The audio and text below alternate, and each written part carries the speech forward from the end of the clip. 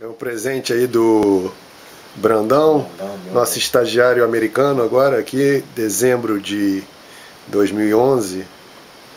Que presente o senhor ganhou? senhor? Ganhei um presente, uma lanterna. Deixa eu ver. Uma lanterna. Acende ela aí pra gente ver se funciona. Acende. Esse produto, esse presente. Ih, rapaz! Lanterna boa, hein? Boa célula. Pô, lanterna bonita, hein? Bonita lanterna. Foi o Brandão que deu, né? Grandão, grandão deu a lanterna. Presente. Presente. Qual é a marca?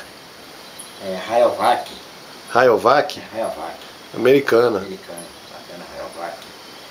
Aí eu conheci um, um, um homem aí, um senhor, já faleceu, já é falecido. Hum.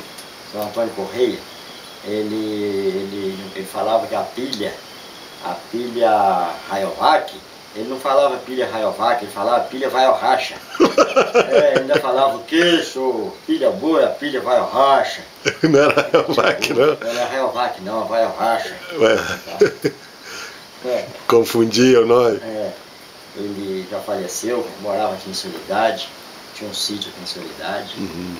Então o, o pessoal eh, ria muito com ele, achava graça dele, modo dele, dele falar, né? De dizer que ele era também atrapalhado para falar. tá? Pilha. Aí ele não, fala, ele não dizia, ele não falava pilha raiovac, ele falava pilha vai ao racha.